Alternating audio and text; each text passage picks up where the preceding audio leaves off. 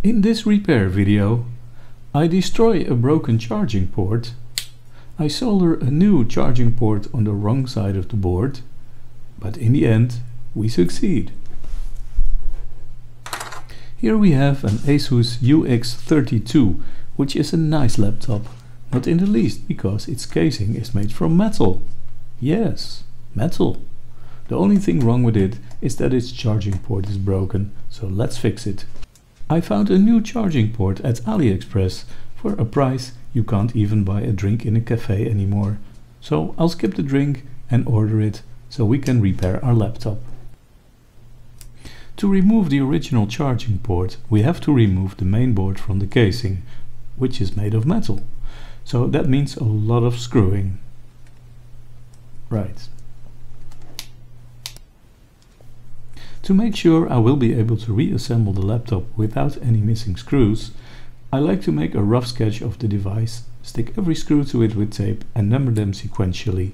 In that way we don't have to worry about different size screws during reassembly.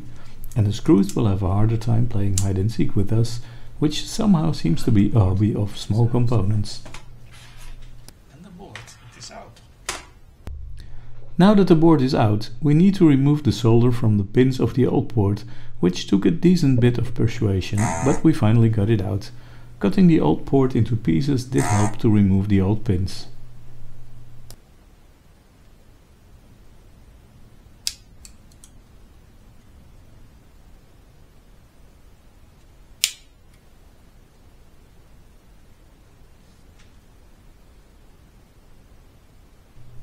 Now the only thing we have to do is fit the new port and solder it to the board.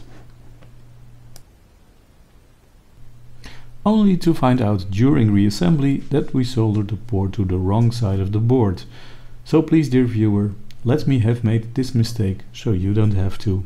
Please make sure the port is soldered on the correct side of the board.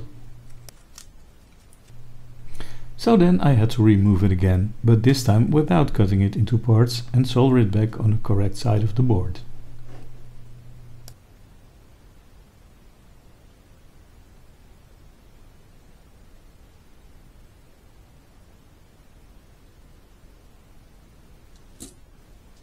Beautiful. Now it fits and we can reassemble the laptop.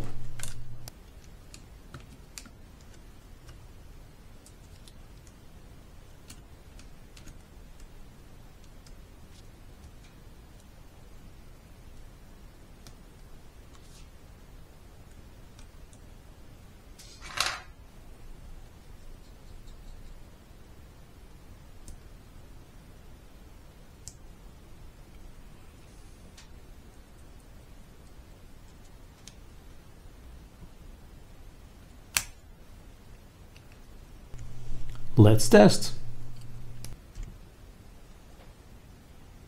Yay. Hello. And it's working. Good.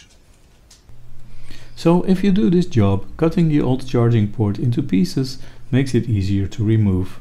And soldering the new charging port on the correct side of the board will definitely save you some time as well. Thank you so much for joining me in this little repair. Please like and subscribe if you already haven't, and I hope you will join me in the next video. Bye then!